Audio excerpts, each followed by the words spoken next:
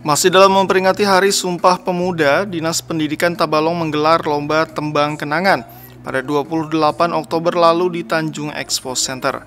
Ajang ini diikuti 20 orang remaja tahun 80-an. Para peserta menyanyikan berbagai lagu pop lawas yang populer di masanya.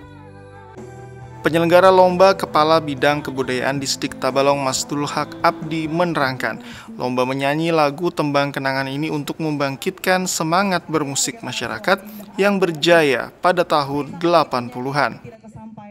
Uh, Golden Memories ini kita peruntukkan bagi masyarakat uh, umum yang usianya 25 tahun ke atas karena kadang-kadang untuk event-event kompetisi seperti ini uh, jarang diperuntukkan bagi bagi mereka yang yang apa yang dalam tanda kutip yang sudah berumur. Jadi kita tahu bahwa mereka ini pernah muda.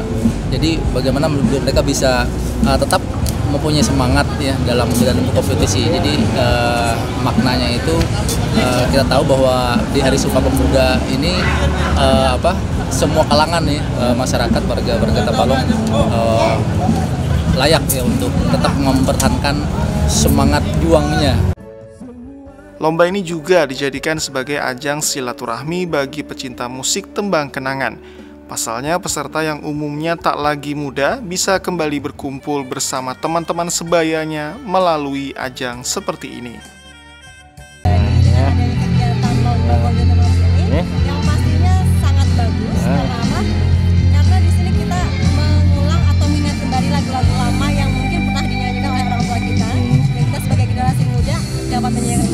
Uh, tentunya kita berharap uh, dinas terkait, tentunya dinas Pendidikan, kebudayaan, kebudayaan, pendidikan dan kebudayaan Kabupaten Tabalong, acara yang seperti ini uh, kita tingkatkan kembali atau kita adakan sebagai acara yang uh, dari tahun ke tahun, maksudnya sebagai acara rutin dalam Sumpah Pemuda, karena ya antusiasnya yang terlalu tinggi untuk masyarakat Tabalong dengan melihat peserta yang begitu banyak.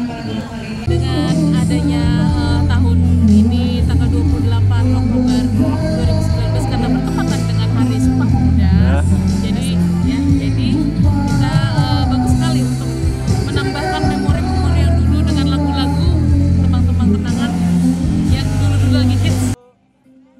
Peserta berharap kegiatan seperti ini dapat terus terselenggara karena selain sebagai ajang silaturahmi, kegiatan seperti ini dapat memotivasi generasi muda untuk terus berkarya, khususnya di bidang musik.